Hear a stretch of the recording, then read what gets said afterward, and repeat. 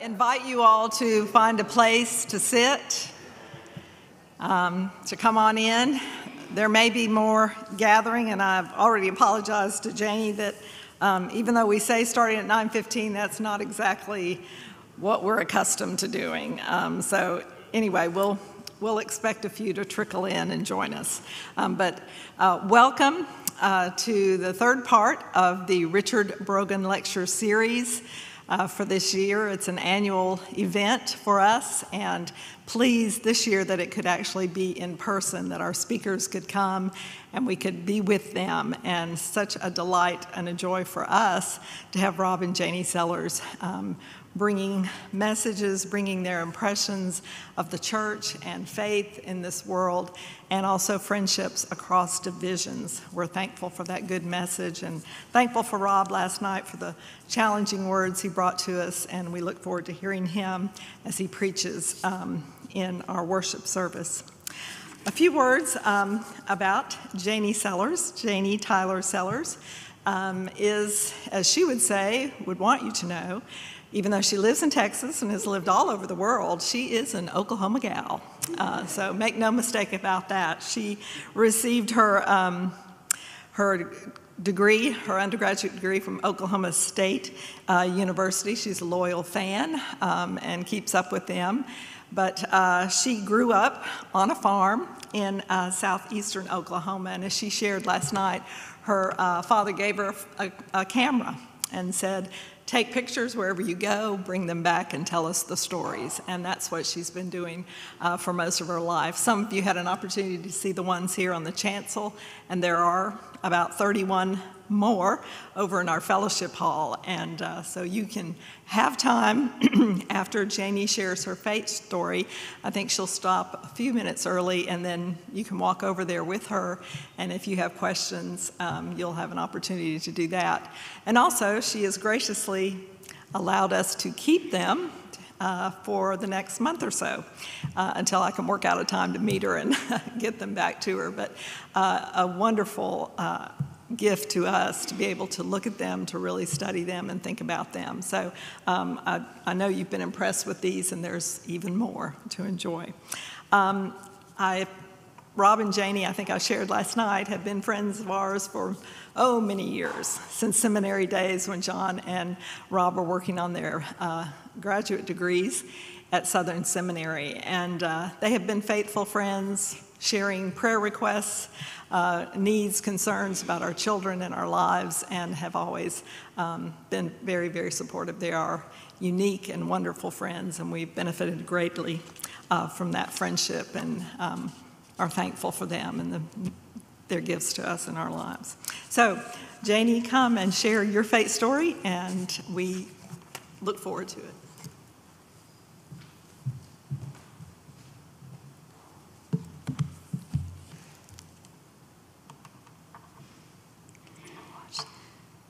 Thank you so much for the time to come and be with you. Um, our friendship with John and Susan, I promise, is just as precious to us as it is to them. and we take every opportunity we have passing through, driving east and west on I 20 to stop and, and visit with them. Imagine, if you will, a hot summer morning on a farm in eastern Oklahoma the rolling hills. We call them mountains, but they're really rolling hills. Five little girls, ages five, six, seven, eight, and nine, getting dressed for the summer day. Not for camp, not with swimsuits on, ready to go jump in the pool, but on a farm, our day began in long jeans, long sleeve shirts,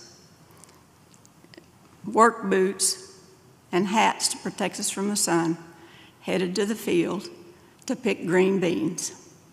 Strapped over our shoulders was an old feed sack that Mom sewed a strap on and hooked it around our shoulders to have a place to pick those beans as we crawled on our knees down the rows. Green beans or purple hull peas. Later in the season, we would be picking cotton or, or um, pulling sweet corn or any one of a number of other activities on a summer day.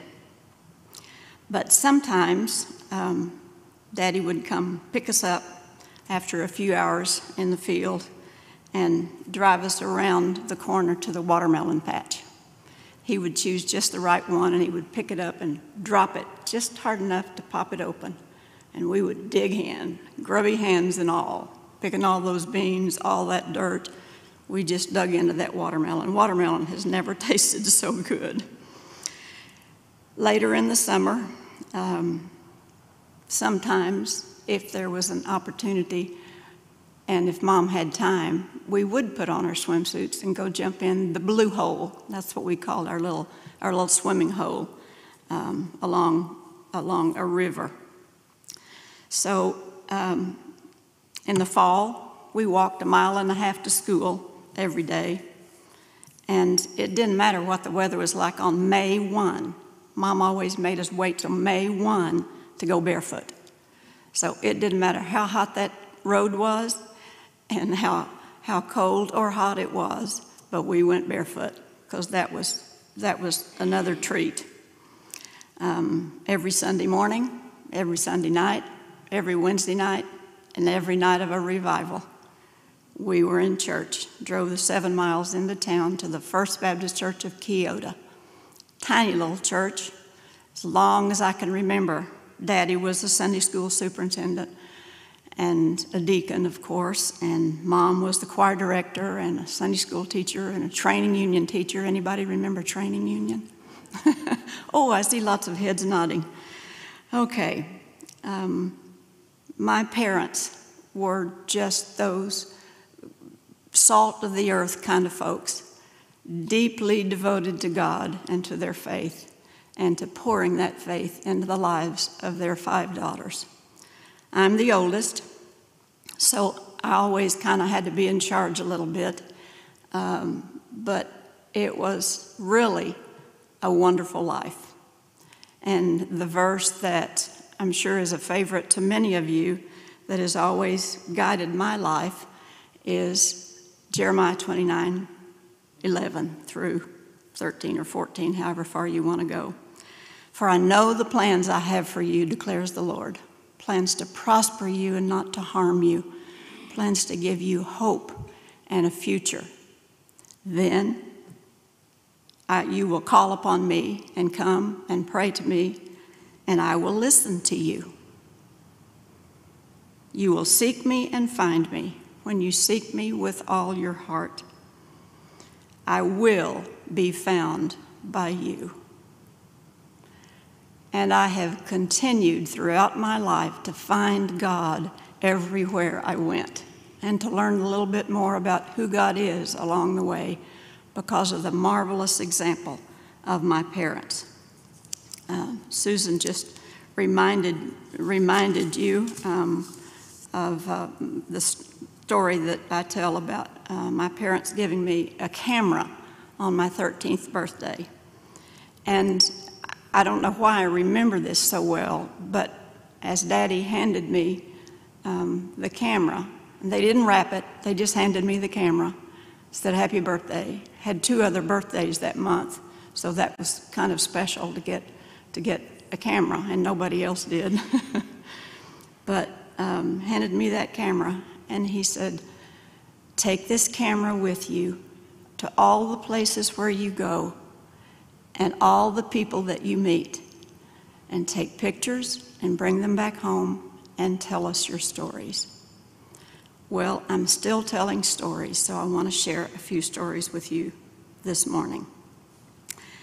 Um, went into high school in Keota and to Keota for high school during those high school years, lots of activities, 4-H club trips and tours, and Daddy wanted to make sure we all had a chance to, to make a trip overseas. So 4-H club trips in the summertime to Europe um, were an exciting adventure for each one of us just once.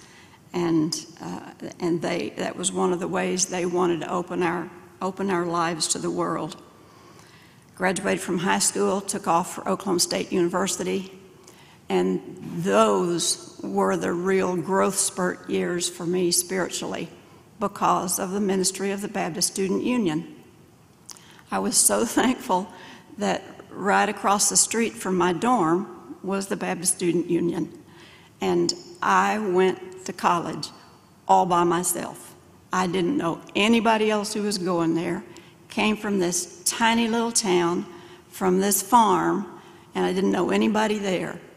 So when I walked across the street, I just happened to notice notice the sign that said Baptist Student Union. When when I walked into those doors, I was walking into the, one of the most exciting adventures of my life. That's where I began to learn more about spiritual growth and listening to speakers and exchanging ideas and thoughts with my friends that I developed there. It was truly an exciting four years. And then graduation was approaching. During my senior year, I heard about the Journeyman Program, the Missionary Journeyman Program through the Foreign Mission Board.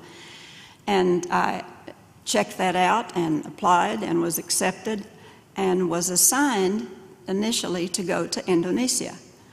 But when I got to journeyman training, and we, while there were three other girls going to Indonesia, and we were all so excited. We studied Indonesian all summer long, and were preparing to go to Indonesia. But um, visas for missionaries to Indonesia have always been a problem. So I had to wait. The other three were all going to teach, so they were able to get their visas through the Department of Education and the Indonesian government. And they really liked teachers. But I was going to be a student minister, to work with college students in, in Indonesia. So that visa had to come through the Department of Religion, and they didn't want more missionaries. So uh, it took a while, and I waited and I waited. And one day, Keith Parks, who was president of the Foreign Mission Board at the time, met me in the hallway. I was working at the Foreign Mission Board offices while I waited for that visa. Keith met me in the hallway and he said, Janie, I think we're wasting your time sitting here in Richmond, and I have an urgent request for, from Cali, Colombia, for someone to work with students. And I think the job would fit you perfectly. So tears began to stream down my cheeks because I'd been counting on and planning on going to Indonesia for several months. But that course got changed, and I am so thankful for the two years that I spent in Cali, Colombia. During those years of uh, ministry to students, I got to know MKs. I learned the term MK, which stands for missionary kid and got to know those MKs and uh, truly reveled in the time I was able to spend with them. So I headed back to the States at the end of that two years, again with tears in my eyes from leaving Colombia, and uh, headed back to America and went to Glorieta for our group's debriefing. And while there, a friend of one of my friends who had gone to Indonesia as a journeyman introduced me to another person who had been a journeyman in Indonesia, and his name was Rob Sellers. So she introduced us that night, and that was kind of it for both of us. We both, we both just kind of thought, okay. Of course, we didn't share that with one another, but we went back to went back home and told our friends, and. Um, one, a, a friend back in Stillwater actually had, had met Rob a few years earlier on his way to Indonesia as a journeyman. She had met him on an airplane, so that was an interesting connection. Those connections have been absolutely thrilling. I've always known that God had a plan for my life. And all along the way, bumps or mountains or valleys or whatever happened, I've always knew, known that God was listening when I prayed. And I have continued to find God in the process. I didn't realize, I don't think, until I came back from those two years in Colombia. I had never slowed down long enough. I tend to keep on moving and do lots of stuff and never stop, never stop along the way to, to uh, ponder the reasons. But I realized in looking back how my history and my preparation had guided me in this very direction. So I looked back and I remembered in high school uh, during, during the summertime, in addition to working in the fields, we also would, the, a team from, from our church, which was the biggest one anywhere in the area, uh, went around and helped lead, a bunch of the young people helped lead vacation Bible schools in smaller churches in our area. And then at Oklahoma State, because of BSU ministries, there were lots of, lots of mission outreach programs. And I happened to be chosen as the missions chairman for our, our BSU, so had lots of opportunities to be summer missionary in Michigan and then another summer in Portland, Oregon, and out on the coast of Oregon. So lots of mission experiences along the way, which to me were just a part of my life. But as I looked back and on that time as a journeyman, I realized, and when I met Rob at Glorieta, one of the first questions he asked me was, Well, do you think you might ever want to go back overseas as a missionary? I'd never even thought about that about missions as a career. But when he asked me that question, the words just kind of poured out of my mouth, and I said, Oh, yes, that's what I want to do. And I honestly hadn't even realized it until then, but that was a part of the process of God's call in my life to identify those things that um, were preparing me for a life of service and missions. So let's look for a few minutes at um, a section of verses in Mark 6. I'm going to read Mark 6, verses 45 through 51. And this is about Jesus walking on the water. Immediately, Jesus made his disciples get into the boat. They had been hanging out together and doing lots of stuff. But they uh, went to, went to the the lake, and Jesus made the disciples get into the boat and go on ahead. They were going to cross over to Bethsaida. So he told the guys to get in the boat and go on ahead. He needed a little bit of quiet time. Don't we all need that? And so he dismissed the crowd, and after leaving the disciples and all the crowd, he went up on a mountainside to pray. I often go to the hills to pray, even if I'm going to the hills in my heart. Uh, I imagine our home in Oklahoma on top of a mountain, and it's one of the most peaceful places on earth for me to pray. So I just go there in my mind. Okay, back to verse 47. When evening came, the boat was in the middle of the lake, and Jesus was alone on the land. He saw the disciples straining at the oars because the wind was against them. About the fourth watch of the night, he went out to them. He didn't go immediately. He saw them struggling, and he waited until the fourth watch and decided, okay, now it's time to go rescue them. So he took off. He didn't have a boat, so he just walked on the water. Don't you think that was fun for Jesus? He was always so surrounded by people and always teaching and always healing and always giving. Don't you just imagine Jesus kind of skipping across the water just because he could? I've always enjoyed reading this story and um, thinking about Jesus walking on the water and thinking how much fun that would be. So he went out walking on the water and he was about to pass by but when they saw him walking on the lake, when the disciples saw him walking on the lake, they thought he was a ghost. So they cried out because they all saw him and they were scared to death. Immediately he spoke to them and said, Take courage. It is I. Don't be afraid. So he climbed into the boat with them, and the wind died down.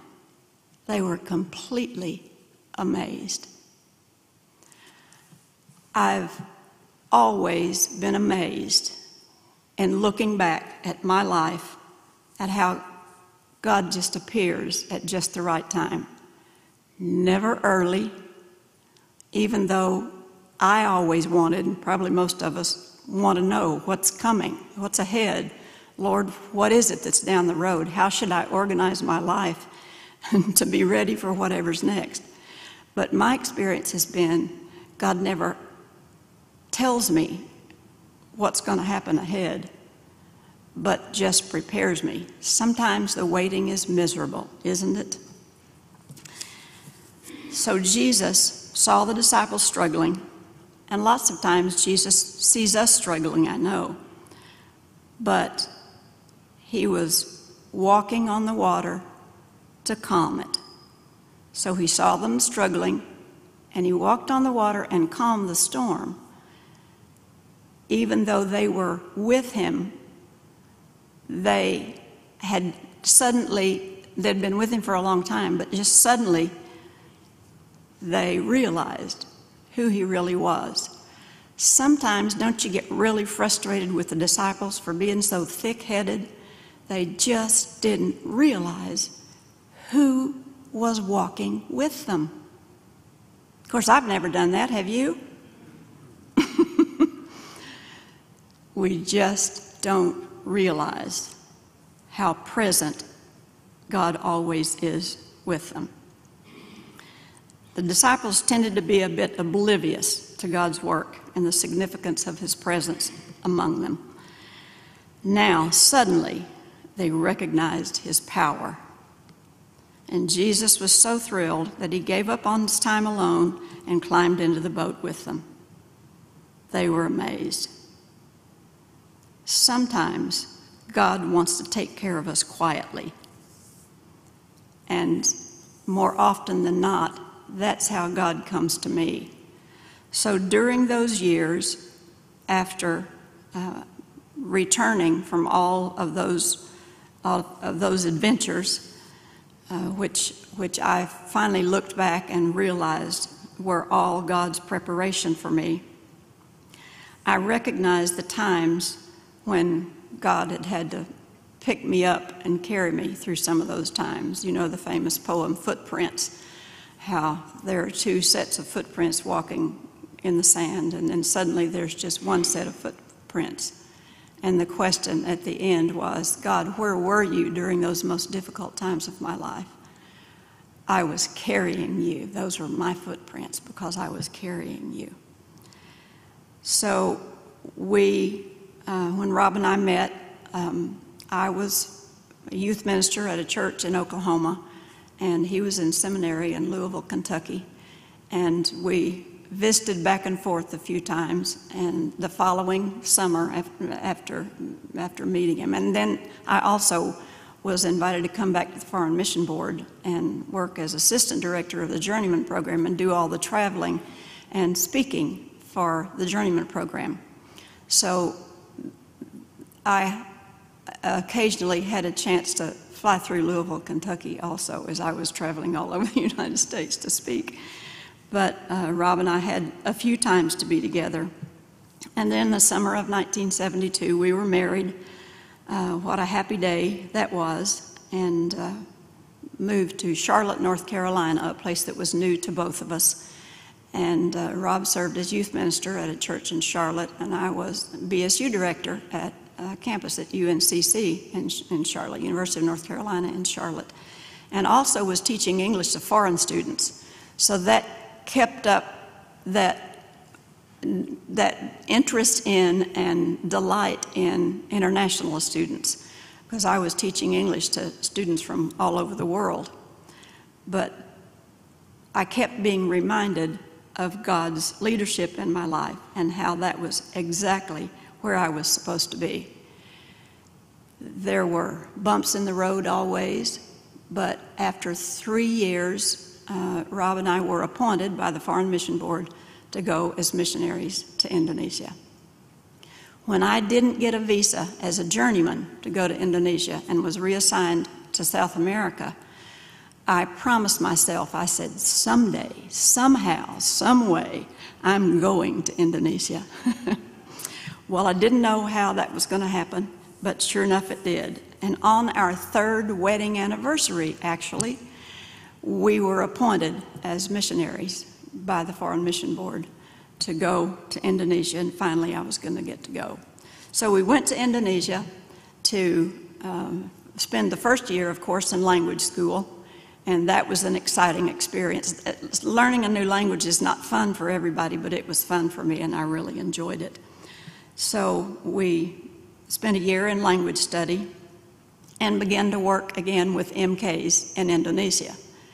So getting to know those young people and walking with them through some of the struggles that they experienced. We worked mostly with high school age MKs who had come from all over the country uh, where their families were serving to go to high school in Jakarta, and they all lived in an MK dormitory in Jakarta, and we lived not too far from that dormitory and spent lots of time with those MKs, those missionary kids, in discipleship and uh, just being with them. One of my main uh, desires during those years, and one of the tools that I used the most was discipleship training. So Rob and I sort of put together a, a discipleship program that that was designed especially for young people. And I had the incredible privilege of discipling 25 young MK women uh, during those years while they were in high school, during our years in Jakarta. I also had opportunity to disciple Indonesian young women through our church in Jakarta. So discipleship was, was my calling during those years of working with young people. We had many opportunities to travel and to work with folks in Indonesia, leaders in the church, Indonesian leaders in the church who wanted to learn how to work with young people. So we planned lots of retreats for churches all over the island of Java and had, had a wonderful experience in teaching them how to work with young people. And then our first baby came along, and I slowed down a little bit, but I still was able to invite a group of young women to my home and was able to be mom and, and continue that discipleship ministry with both Indonesian and MK young women. So those were thrilling, thrilling times for me to do that. During the years, and if you were here last night, you heard Rob talking about some frustrating years uh, on the mission field when our calling wasn't what someone else expected of us. But because of God's grace and goodness and because of the strength of God's calling in our lives, we knew we were doing the right thing. We chose to spend time with our children and make sure they knew, sort of discipling our children, if you will, along the way. Make sure they knew that they were the most important people there for us. Sometimes when we um, hit brick walls, we wonder why in the world is this happening? And that happened to us when we uh, came home on a furlough. Well, another furlough, we, we came home and studied. Rob was able to finish his PhD at Southern Seminary, and during that same time, I finished my master's degree uh, at the seminary. And those were busy and hectic years. And we went back to Indonesia, and both of us, the, the mission then chose to move us from Jakarta, the big city of Jakarta, to Semarang, a smaller city on the northern. There were about 13 million people in Jakarta then. I think they're probably up to about 15 million now. But we moved to a small town of Semarang, which only had a million people. it was on the north coast of Java, but we loved teaching at the seminary. We loved being involved in the lives of those seminary students. And it was so exciting to teach them I also was homeschooling our children. They, when we were in Jakarta, they were able to go to Jakarta International School, but when we moved to Semarang, um, I was called upon to teach my children, which I, I asked God a long time before that, please not ever to ask me to do that. But, but then I did anyway, knowing full well the verses in Jeremiah that continue, continued to promise me that God was there with me and would always be with me and would always be my strength. When we lost our visas to Indonesia, that, I believe, was the most difficult thing I had ever done up until that time, was to leave Indonesia. And we just knew that that was our calling.